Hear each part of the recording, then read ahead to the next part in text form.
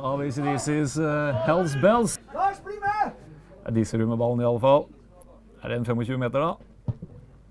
Ja, han prøver seg. Får vi en Får corner. en, eh, corner på den eh, der. Stiller opp som vi gjorde i stad. Skal vel da inn eh, på femmeteren. Og der går slått, og så er det skåring! Lars Grorud! Der åpna han eh, målkontoen sin eh, for denne sesongen. Det er Lars Grorud som gjør 1-0 til fram etter 13. minuttet. ved spiller nummer fire, Lars Ja, det er- Grorud. Det er en eh, godt uh, slått uh, corner fra disse.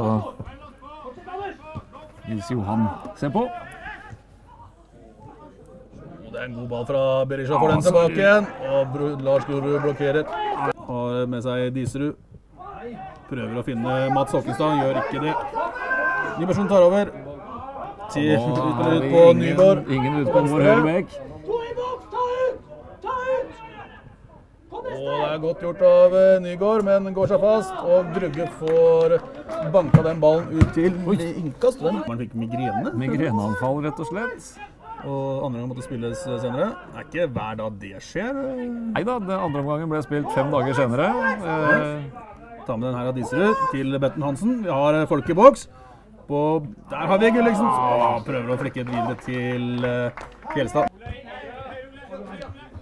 Gulliksen flikker den til eh, Diserud. Helt gjort. Plass. Tu enda bedre plass. her kan du sette fart Ingen etter. Trond rundt. Må vende tilbake igjen. Gulliksen 20 meter. Kan på skudd, og det er greit, det. Gulliksen, eh, men eh, får ingenting. Han møter Jarl André Storbekk. Han har vært med spilt på fotballkamp for eh, Storbekk. Han har spilt noen fotballkamper i sitt liv, og på relativt høyt nivå også. Så skal du være på vakt her nå, så får du faktisk komme til Organiserte hjemmelaget. Åh, det er et dårlig valg, eller dårlig ball av Christer Fjelstad. Ja, Den kom jo altfor seint der. Jeg tror vi har vinka på den ballen lenge. Første kommer, så er den uh, upresis i tillegg. Oh, så går det gjennom hele feltet. Innover skrudd. Bakre til Grorud. Oi, Så så Piet Rond som, eh, som seier til Chris Froome og Sky i Tour de France.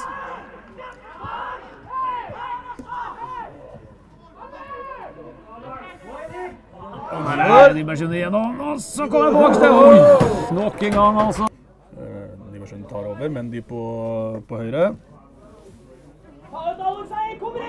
Sham nå. Ja, de fyller på i feltet hos De er tre mann der, og der er det nok en gang her i bare noen få centimeter unna å få satt eh, Tatt over mesteparten av uh, ballbesittelsen, i hvert fall. Ja, så absolutt. De har kommet eh, veldig mye mer med etter at Fram var eh, gode i de første minuttene.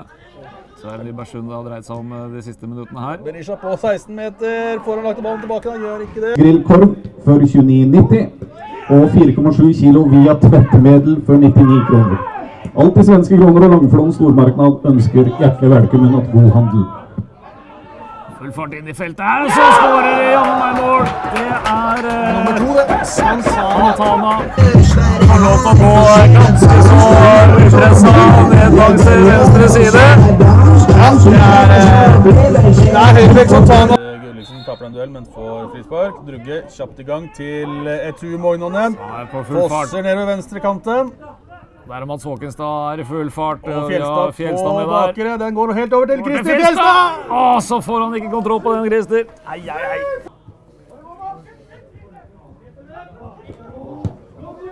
Klarer vi ikke å ta vare på de overgangsmulighetene når vi får det, og så får vi Nybergsund en ny sjanse med en gang. Rett på Kenneth. Han har spanske foreldre.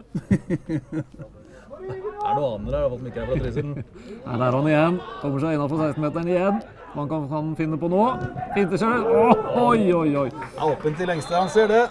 Ja, det er nære på at han gjør sitt andre mål, eh, men eh, det er altså 1 igjen. Eh, Pause. Da er vi i gang, vi. Ingen endringer i pausen, men eh, kaffe og vaffel ble det. Det gjorde det. Her eh, blir det angrep fra Nybergsund.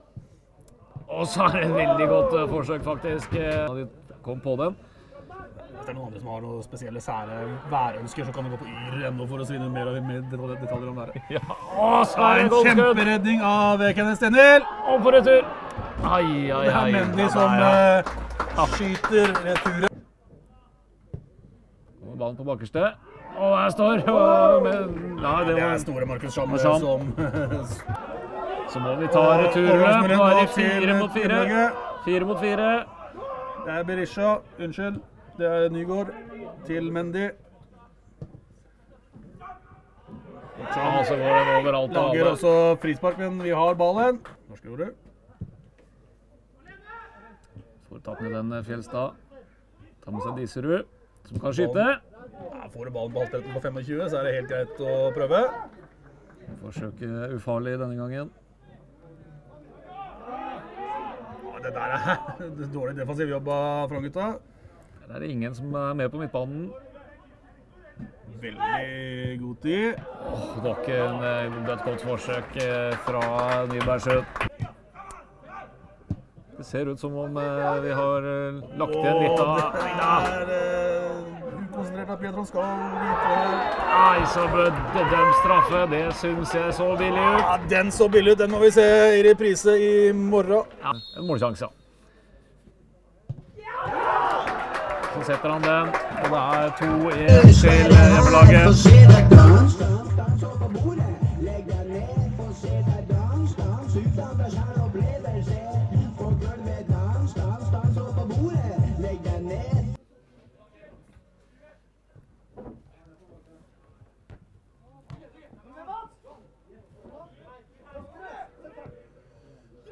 Mats Håkenstad nå.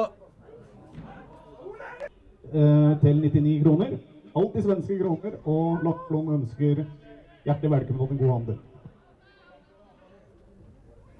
Mendy på farta ute på venstre side. Innlegget kommer. Og så får de stå aleine og hedde der.